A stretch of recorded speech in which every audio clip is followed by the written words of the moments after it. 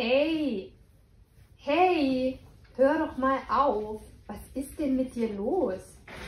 Er kann nicht damit aufhören. Er ist krank. Wie jetzt krank?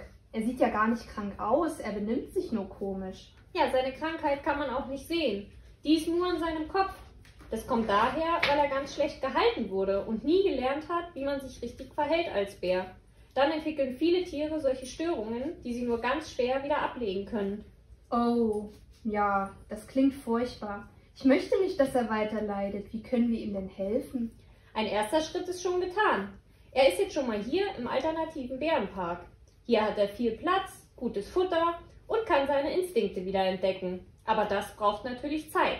Hm, und wie lange dauert sowas? Das ist von Tier zu Tier unterschiedlich.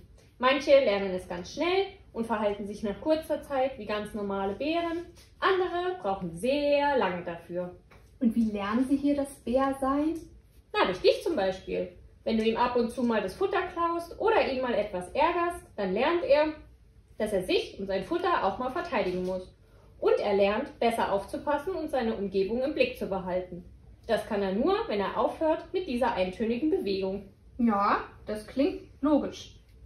Dann werde ich mich jetzt gleich mal vorsichtig annähern und schauen, ob ich ihn aus seinem Fehlverhalten rausholen kann. Mach das mal. Das wird schon mit der Zeit.